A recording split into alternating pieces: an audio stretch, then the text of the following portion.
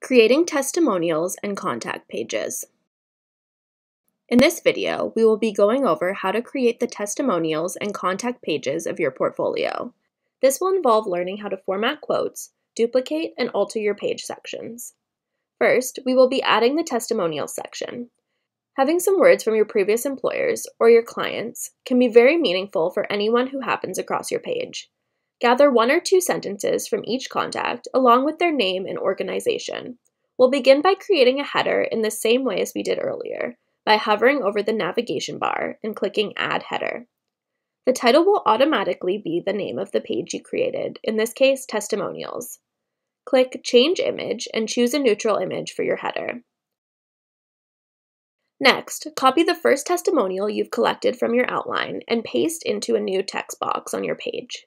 We're going to align the quote to the left. Then we've chosen to right align the name and location of the person the quote is from on a separate line to differentiate the information. We've also chosen to use a different font from our theme. Follow suit with the remaining testimonials until they are all formatted as quotes.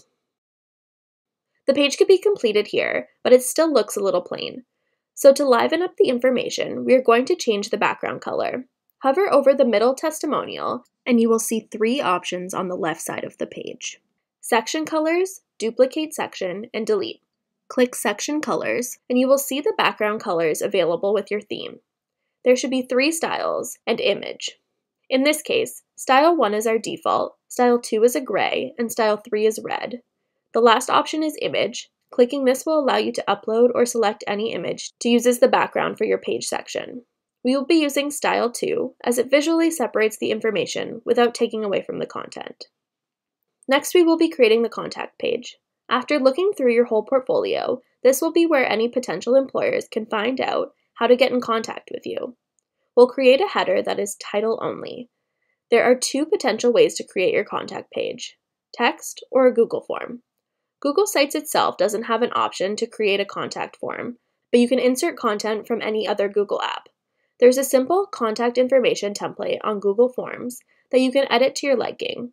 Insert this onto your portfolio by clicking Forms in the Insert menu and choosing the correct file. We're going to align the form to the right hand side and add a photo to the other half of the page to create a split layout. Click Images in the Insert menu, click Upload, and choose the image you'd like to represent your contact section. We'd recommend a professional image of yourself or something related to your work.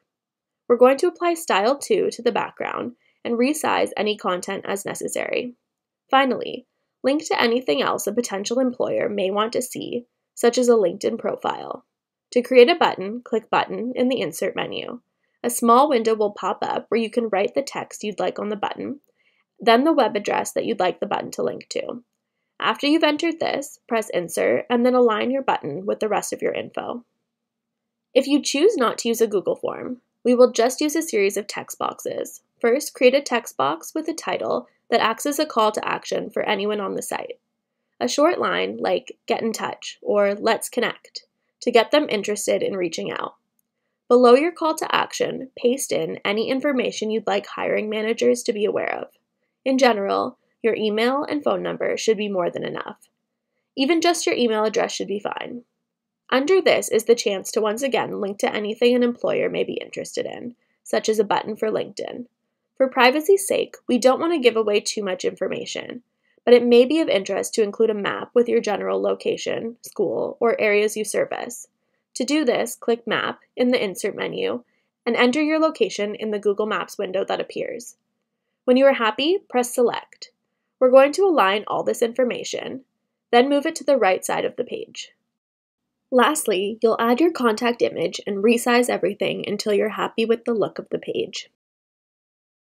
Here is a preview of what your testimonials and contact section should look like when they're completed. To see yours, click the preview button in the top menu bar. In the next video, we will learn how to make our homepage and publish your final Google site.